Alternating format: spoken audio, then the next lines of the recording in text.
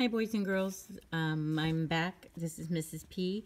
I'm back with a series of unfortunate events. The first book by Lemony Snicket. And we are on chapter three. Ooh. I don't know if you've ever noticed this, but first impressions are often entirely wrong.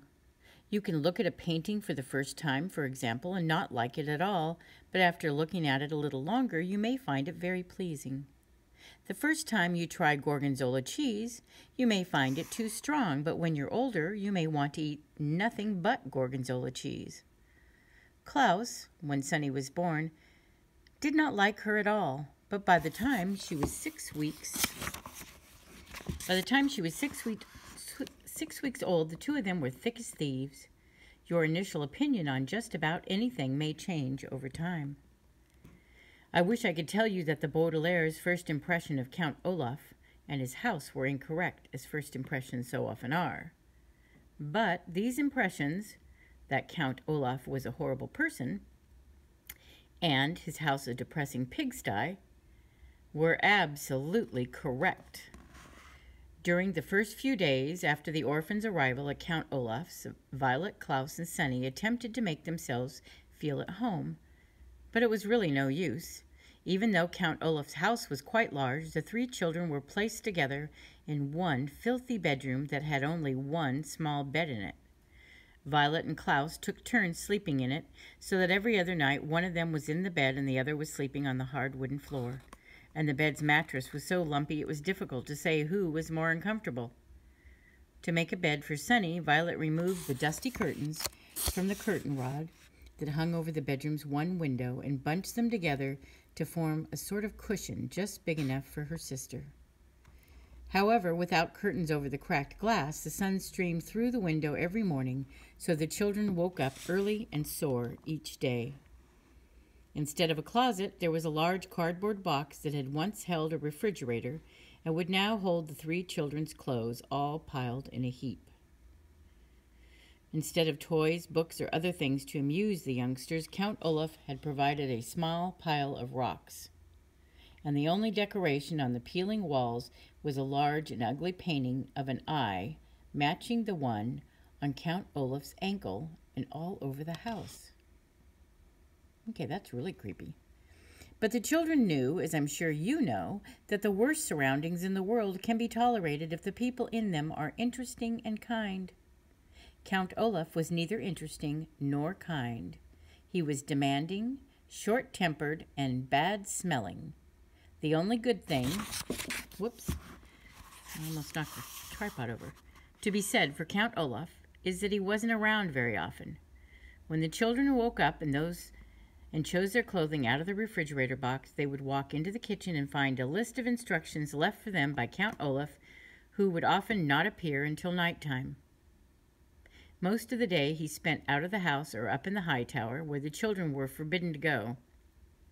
The instructions he left for them were usually difficult chores, such as repainting the back porch or repairing the windows. And instead of a signature, Count Olaf would draw an eye at the bottom of the note. One morning his note read, My theater troupe will be coming for dinner before tonight's performance. Have dinner ready for all ten of them by the time they arrive at seven o'clock. Buy the food, prepare it, set the table, serve dinner, clean up afterwards, and stay out of our way. Below that, there was the usual I, and underneath the note was a small sum of money for the groceries.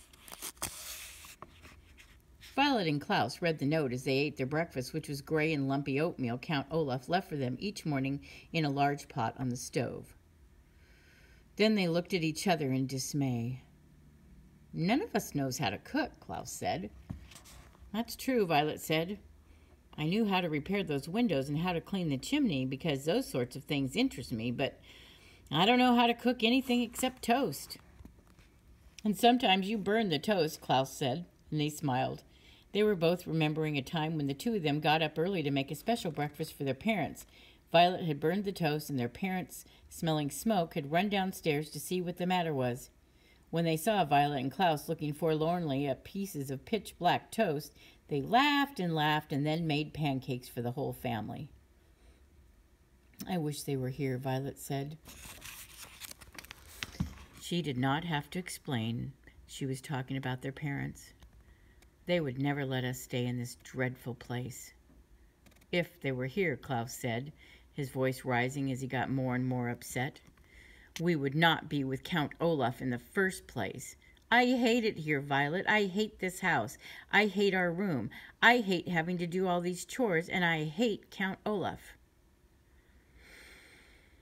Hmm, I hate it too, Violet said, and Klaus looked at his older sister with relief. Sometimes just saying that you hate something and having someone agree with you can make you feel better about a terrible situation.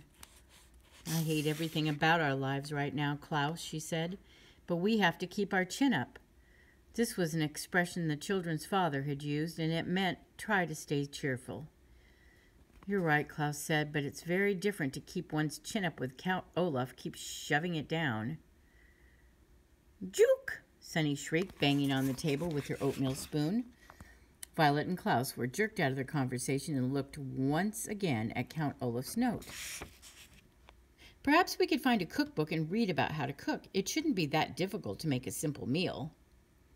Violet and Klaus spent several minutes opening and shutting Count Olaf's kitchen cupboards but there weren't any cookbooks to be found. I can't say I'm surprised, Violet said. We haven't found any books in this house at all. I know, Klaus said miserably. I miss reading very much. We must go out and look for a library sometime soon. But not today, Violet said. Today we have to cook for ten people. At that moment, there was a knock on the front door. Violet and Klaus looked at one another nervously. Who in the world would want to visit Count Olaf? Violet wondered out loud. Maybe somebody wants to visit us, Klaus said without much hope. In the meantime, or in the time since the Baudelaire parents' death, most of the Baudelaire orphans' friends had fallen by the wayside, an expression which here means they stopped calling, writing, and stopping by to see any of the Baudelaires, making them very lonely. You and I, of course, would never do this to any of our grieving acquaintances, but it is such a sad truth in life that when someone has lost a loved one, friends avoid the person just when the presence of friends is most needed. Violet, Klaus, and Sunny walked slowly to the front door and peered through the peephole, which was in the shape of an eye. They were delighted to see Justice Strauss peering back at them and opened the door. Justice Strauss, Violet called. How lovely to see you. And she was about to add, Do come in, but then she realized that Justice Strauss would probably not want to venture into the dim and dirty room. Please forgive me for not stopping by sooner, Justice Strauss said as the Baudelaire stood awkwardly in the doorway. I wanted to see how you children were settling in, but I had a very difficult case in the High Court, and it was taking up much of my time. What sort of a case was it? Klaus asked. Having been deprived of reading, he was hungry for new information. Well, I can't really discuss it, Justice Strauss said, because it's official business, but I can tell you it concerns a poisonous plant and illegal use of someone's credit card. Yika, Sunny shrieked, which appeared to mean how interesting, although of course there is no way that Sunny could understand what was being said. Justice Strauss looked down at Sunny and laughed. Yika indeed, she said, and reached down to pat the child on the head. Sunny took Justice Strauss's hand and bit it gently. That means she likes you, Violet explained. She bites very, very hard if she doesn't like you or if you want to give her a bath. I see, Justice Strauss said. Now then, how are you children getting on? Is there anything you desire? the excuse me. The children looked at one another, thinking of all the things they desired another bed, for example, a proper crib for Sunny, curtains for the window in their room, a closet instead of a cardboard box, but what they desired most of all, of course, was not to be associated with Count Olaf in any way whatsoever. What they desired most was to be with their parents again in their true home, but that, of course, was impossible. Violet, Klaus, and Sunny all looked down at the floor unhappily as they considered the question. Finally, Klaus spoke. Could we perhaps borrow a cookbook? he said. Count Olaf has instructed us to make dinner for his theater troupe tonight, and we couldn't find a cookbook in the house. Goodness, Justice Strauss said. Cooking dinner for an entire theater troupe seems like a lot to ask of children. Count Olaf gives us a lot of responsibility, Violet said. What she wanted to say was, Count Olaf is an evil man, but she was well mannered. Well, why don't you come next door to my house, Justice Strauss said, and find a cookbook that pleases you. The youngsters agreed and followed Justice Strauss out the door and over to her well kept house. She led them through an elegant hallway smelling of flowers into an enormous room, and when they saw what was inside, they nearly fainted from delight. Klaus especially. The room was a library, not a public library, but a private library. That is, a large collection of books belonging to Justice Strauss. There were shelves and shelves of them on every wall, from the wall to the ceiling, and separate shelves, and shelves of them in the middle of the room. The only place there weren't books was in one corner where there was some there were some large, comfortable looking chairs and a wooden table with lamps hanging over them, perfect for reading. Although it was not as big as their parents' library, it was as cozy, and the Baudelaire children were thrilled. My word, Violet said, this is a wonderful library. Thank you very much, Justice Strauss said. I've been collecting books for years, and I'm very proud of my collection. As long as you keep them in good condition, you are welcome to use any of my books at any time. Now, the cookbooks are over here on the eastern wall. Shall we have a look at them?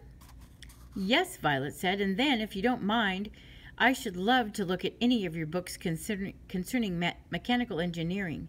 Inventing things is a great interest of mine. And I would like to look at books on wolves, Klaus said. Recently, I have been fascinated by the subject of wild animals in North America. Book, Sunny shrieked, which meant Please don't forget to pick out a picture book for me. Justice Strauss smiled. It is a pleasure to see young people interested in books, she said. But first, I think we'd better find a good recipe, don't you? The children agreed, and for 30 minutes or so they perused several cookbooks that Justice Strauss recommended. To tell you the truth, the three orphans were so excited to be out of Count Olaf's house and in this pleasant library that they were a little distracted and unable to concentrate on cooking. But finally, Klaus found a dish that sounded delicious and easy to make. Listen to this, he said. Puttanesca. It's an Italian sauce for pasta. All we need to do is saute olives, capers, anchovies, garlic, chopped parsley, and tomatoes together in a pot and prepare spaghetti to go with it. Well, that sounds easy, Violet agreed. And the Baudelaire orphans looked at one another.